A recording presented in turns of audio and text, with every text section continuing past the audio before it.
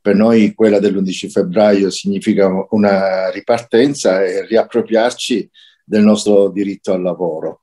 E certamente non c'è stato entusiasmo perché le norme emanate per la riapertura sono molto restrittive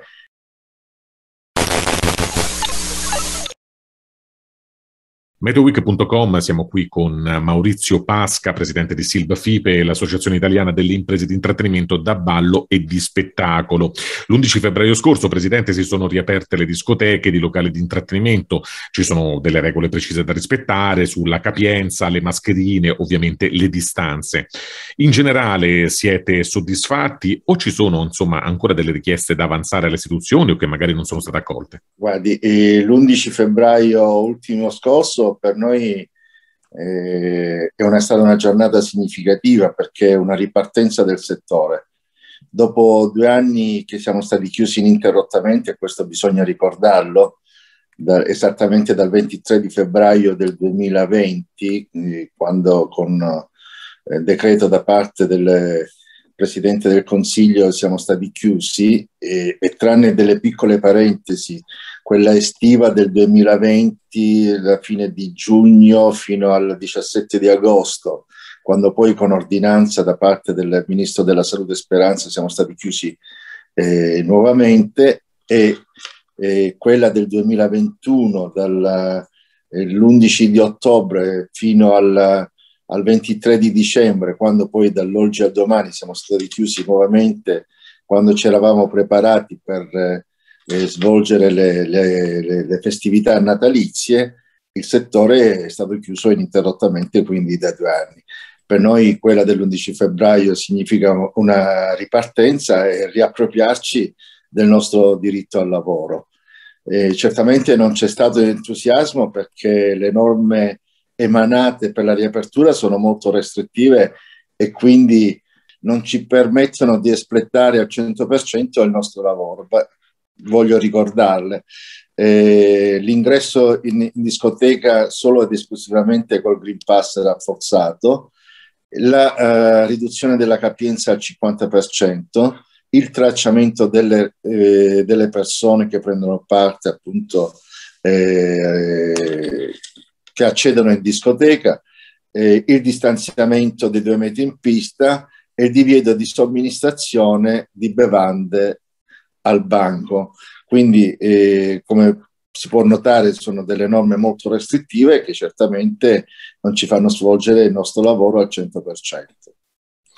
Presidente Pasca, in questi ultimi due anni lei e i suoi colleghi, insomma, avete spesso lamentato, eh, sia per quanto riguarda le restrizioni che vi hanno colpito, che mentre insomma i locali ufficiali rimanevano chiusi, spesso e volentieri c'erano delle eh, feste comunque che si svolgevano comunque senza controlli. In generale, facendo un po' un veloce riassunto, come sono stati questi due anni di pandemia sul settore? Che conseguenze hanno avuto su economia ed occupazione?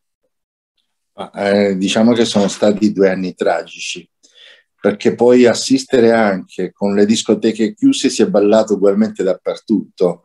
Basta vedere dei filmati eh, di luoghi improvvisati, ma non soltanto improvvisati, tipo bar, bar, il ristorante, lo stabilimento balneare, che facevano ballare con le discoteche chiuse, certamente eh, qualche, qualche problema eh, è stato arregato al settore. Un settore che ha un valore economico di circa 2 miliardi di euro l'anno, con un gettito fiscale di circa di 800 milioni di euro.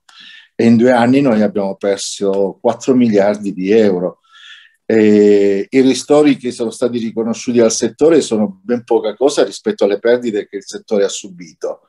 E in due anni hanno, il governo ha riconosciuto 70-80 milioni di ristori a fondo perduto rispetto appunto ai 4 miliardi di, di, euro che sono stati persi. Che se poi andiamo a suddividere i 70-80 milioni di euro alle 3.000-3.300 aziende che sono sul territorio, hanno, cioè, è aspettato circa 20.000 euro per due anni di chiusura.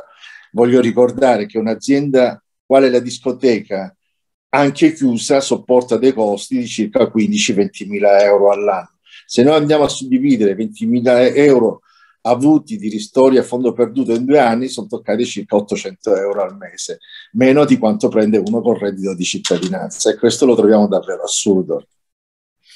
Presidente Pasca, lei recentemente, insomma, in alcune sue dichiarazioni ha parlato di pregiudizio ideologico sui locali da ballo, cito testualmente, che avrebbe questo pregiudizio condizionato le riaperture durante questi ultimi due anni.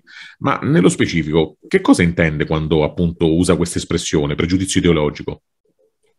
Ah, il pregiudizio ideologico eh, parte da molto lontano, dalle famose stragi del sabato sera con Mamma Belli anni 80-90, quando la discoteca è stata additata come eh, problema per le stragi del sabato sera, quando sappiamo perfettamente che non era così, perché mancavano i controlli sulle strade, eh, le strade erano quelle che erano, poi una volta che ci sono stati più con- cioè, controlli eh, e ci sono stati provvedimenti restrittivi perché veniva trovato alla guida in stato di alterazione psico- eh, psicofisica, gli incidenti stradali sono diminuiti notevolmente, quindi non erano eh, addidabili alla discoteca. Ma come è successo eh, ad agosto del 2020, quando ci hanno chiusi il 17 di agosto con provvedimento da parte del ministro della Salute Speranza, addirittura siamo stati additati come se fossimo noi gli untori della pandemia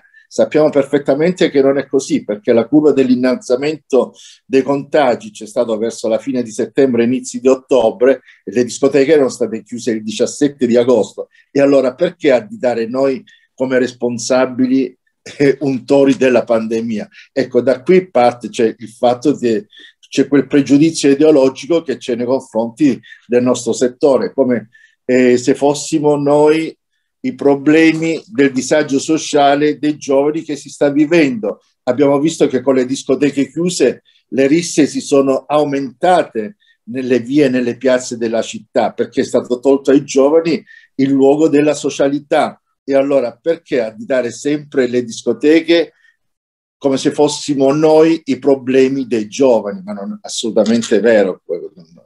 Io, cioè, quello che voglio dire è che il nostro settore eh, è fatto da imprenditori seri e preparati e che i nostri locali sono luoghi eh, sicuri e in grado di gestire il divertimento in sicurezza. Ecco, questo è, è la discoteca.